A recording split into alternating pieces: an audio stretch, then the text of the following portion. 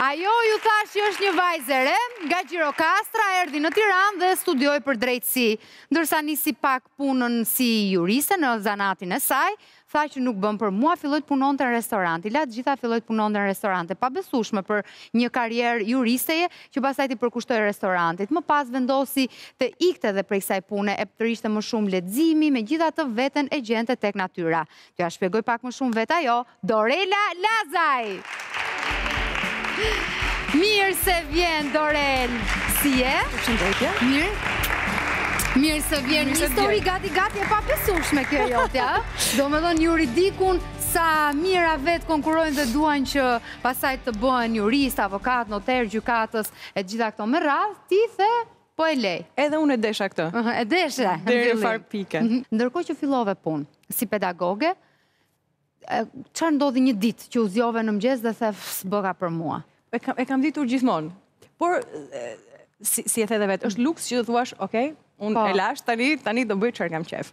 Ëm Unë kam qenë, domethënë, kujtimet e para të fëmijërisë kanë qenë gjithmonë të lidhura me gjyshërit që punonin tokën, edhe natyra ka një lloj ritmi dhe një lloj sensi të vetin që është i pacënueshëm, um, i pa e, transformueshëm um, dhe që të inspiron, që nuk lëndon, që nuk është uh, e, i kompromist, mm -hmm. që nuk është i dyshimt.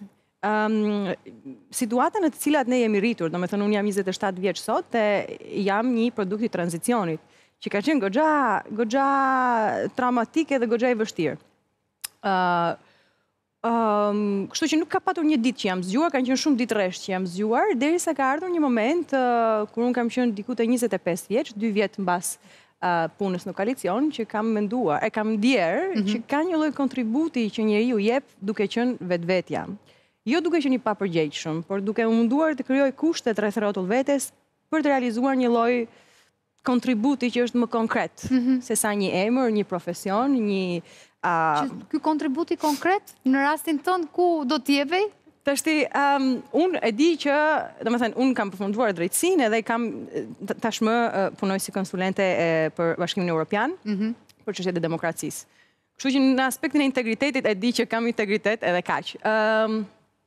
U zgjova një ditë edhe isha kthyer në një nga udhëtimet e mia dhe kisha marrë një shenjues librash me vete. Mm -hmm.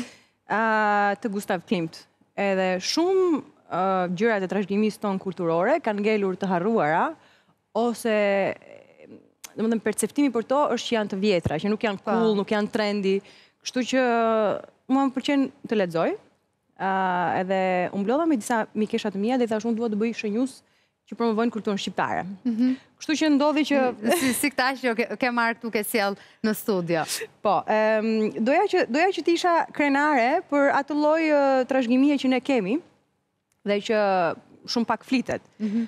Kështu që kjo avash avash filloi të, të, të krijohej si lloj nisme, si një lloj biznesi i vogël dhe tani shiten nëpër libraritë në, në mhm. Shqipëri dhe Kosovë. Në këta shënjues, po unë vërej që janë më shumë imazhe femërore, ha, në ta.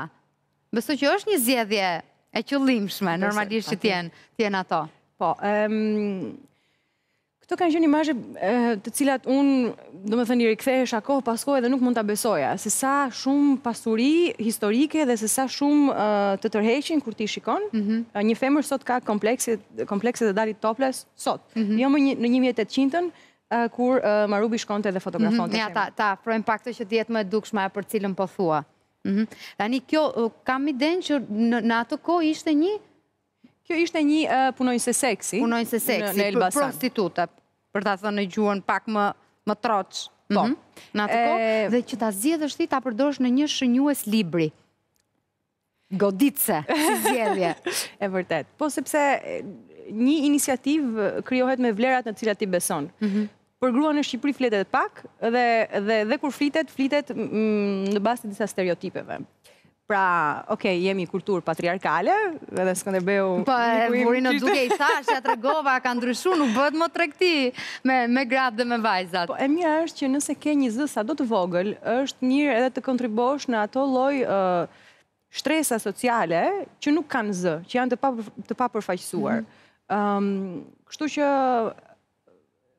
thashë, ok, nëse kjo është iniciativa ime, unë dua që të paraqes pra, figura që unë i besoj. Pra nga një gjë kaq e madhe që të jesh njeri i ligjit, të jesh juriste, e le, për t'u marrë me një gjë që duket shumë e vogël, shënjues, tregues e fletës së leximit, ku e lë leximin e librit, ta, ta shënjosh aty.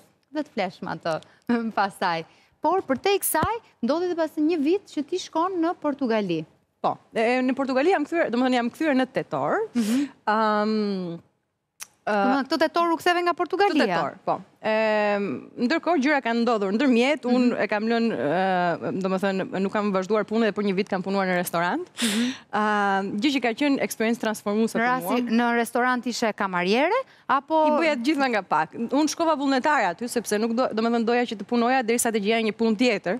Mirë po funksionoi ashtu, domethënë ndodhi që po na shkonte mirë mhm. marrëdhënia, edhe qëndrova aty një vit me të në një um, restorant të vogël që promovon ushqimet shqiptare dhe produktet e fermerëve.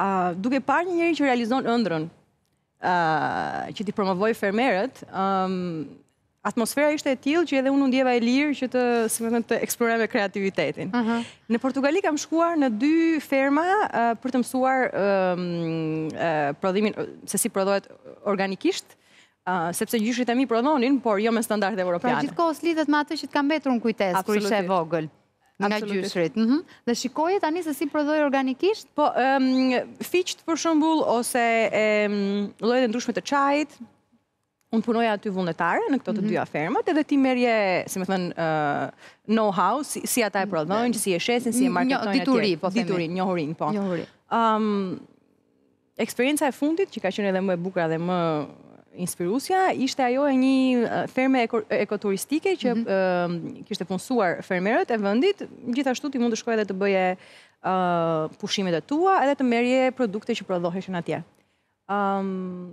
Pra ti domethënë e ke këtë eksperiencë që edhe jetoje me atë, edhe mësoje prej saj, po ça kënaqësie gjeje ti aty? Ka një hapësirë brenda secilit, që është e paemërtueshme. Mhm. Edhe Ta thashë, ne kemi shumë emra, unë jam juriste, unë jam e bija e dy prindërve, jam nga Gjirokastra, e tjerë, e tjerë. Po, varësisht situatave, identitete të ndryshme. Është edhe një hapësirë lirie, të cilën unë e gjej shumë afër natyrës dhe shumë afër këtyre njerëzve që japin kontributin e tyre në shoqëri, e cila unë mendoj që është e vlefshme në fund të ditës mbas të gjithë po themi ndjesive pozitive dhe negative të të jetuarit në një mhm. vend ose në një tjetër, ëm ngelet edhe ajo nuk e di, arsyeja pse njeriu jeton. A e kthejmë pak të lutem regjia tek ajo fotografia ku ishit në grup, që duken edhe kështu kombësi të ndryshme. Kam idenë që aty jeni në Portugali? Aty jemi në Portugali. Kush janë ata persona? Të, të gjitha fotografitë janë nga Nga Portugalia, ajo është ferma ku jetonit? Ajo është ferma ku jetonim. Aty është një djalë holandez, një mhm. ruse. E ke, e ke përballë, e ke përballë fotografinë. Pra, okay. Mm -hmm. Jani, Anastasia mm -hmm. edhe Tenka që ishte bullgare jetonte në Portugali, ishte bashkëshortja e Joaos aty mbrapa. Mm -hmm. Edhe Rui, mhm. edhe Rui ishte portugez. Kjo ishte një familje e krijuar, e improvizuar po. në atë moment që keni vajtur aty. Po, edhe është, domethënë, ti mësohesh që fillon edhe jeton në komunitet dhe pastaj të duket e çuditshme të jetosh, nuk e di, me familjen ose vetëm, mhm. sepse ti do gjithë kohës atë emocionin e... Në të emocion. Po të tani, se thonë njerëzit, po mirë kjo, s'don me jetu me nënën, me babën e vet? Jo. Që shkojë? Po pse? Po shiko, unë jam 27 vjeçe. Po. Unë kam jetuar vetëm përpara se të nisesha në Portugali, kam jetuar vetëm. Ë uh, unë besoj që për arsye të rritjes personale, fëmija duhet ta ketë gjithmonë një lloj kontradikte me prindin. Përndryshe po. nuk ka asnjë arsye për Po zakonisht është një kontradiktë që kalohet në adoleshencë. Jo, patjetër. Jo. Po vjen një moment që ti zgjedhjet e tua duhet t'i bësh si individ i pavarur. Domethënë, e kam fjalën po, jo kontradiktë. Po kur ti je i rritur, e qartë. Dhe dhe Duhet një proces njohjeje, pra ajo, ai procesi i jetesën me familjen dhe pastaj jetesën me partnerin ose me bashkëshortin, nuk ka asgjë të gabuar, vetëm se unë mendoj që ekziston edhe një tjetër rrugë në të cilën ti zbulon gjëra që ke qejf t'i zbulosh vetëm, edhe ky lloj procesi transformon edhe kërkesat e tua ndaj të tjerëve ose mënyrën si ti e percepton botën. Prandaj është e nevojshme. Mhm, mhm. Ti tani je vetëm pak muaj, ëh, dy muaj mbas kësaj eksperience njëvjeçare në Portugali, si mendon se do ta kujtosh mbas pesë apo dhjetë vitesh një nga eksperiencat më të bukura të jetës, një çmenduri e moshës, si mund ta parashikosh se nuk i dihet asnjëherë çfarë mund të ndodhi. Ajo është një nga ato eksperienca që ta hapin horizontin dhe ti kërkon gjithmonë e më tepër. Kështu që unë nuk e shikoj aspak të pamundur që mbas një viti të marr atë çantën edhe të shkoj dhe të bëj një udhëtim nëpër botë. S- Meqë akoma jam e re dhe nuk kam Po, fëmijë, detyrime. ëm, por si, prap, është është është ndjesia e lirisë që ta jep, që njerëzit e gjejnë në në vende të ndryshme dhe unë e gjej në natyrë. Ti e punoje tokën aty? E punoja dhe tokën, po. E punoje. E punoja dhe tokën, po. Me shat? Po, kishin si tip, nuk e di se si quhet ajo, mhm. tip, po vegla do si piruni me, me, me mhm. dhëmbë. Mhm. Mblidhim nga këto, si tip, ato janë si bishtaja, po janë, kanë atë shijen e kakaos, si e, tre, e tresnin e bënin pluhur. Um, ça bëja tjetër, prisja këto të gjethet e çajit, edhe i, i mbillnim në, në sera. Këtu jam unë duke bërë pasta edhe këtë.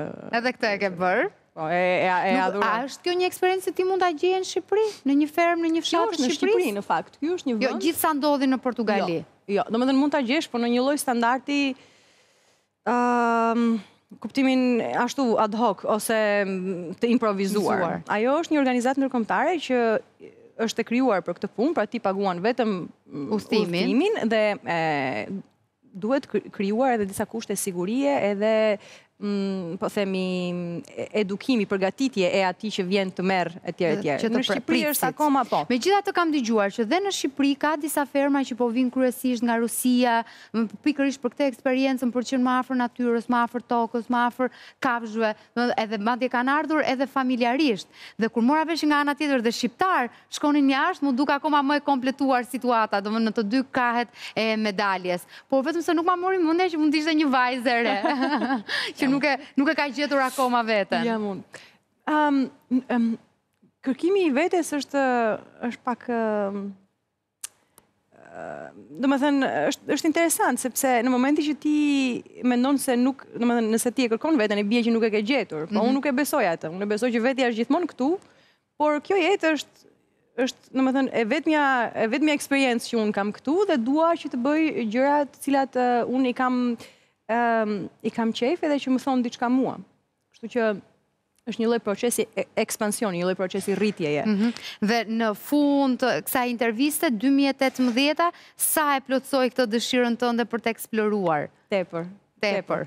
Tepër. Mhm. Në në në disa aspekte. Unë kam një biznes që nuk nuk më shkoi ndërmend që do që do ta kisha. Njerëz që më njohin për shkak të një gjëje që unë e kam bërë me, domethënë për qejf nga jo të parashikuar. Unë kam 6 vjet juriste dhe askush nuk nuk nuk më njeh. Ja, si juriste. Ëm kam qenë më e lidhur goxha me natyrën edhe edhe disa lloj po themi marrëdhëniesh personale me njerëz që vlejnë. Edhe kur këta njerëz bëhen bashkë, bëhet komunitet, kjo bëhet një e mirë edhe për shoqërinë. Të falenderoj për këtë intervistë, për ndarjen e kësaj eksperience tënde aspak të zakonshme shqiptare, normalisht dhe të uroj gjithë të mirat për vitin e ri 2019, juve që na ndoqët dhe takimin tanimë e dini, çdo ditë e keni ftesën në orën 5, mirupa.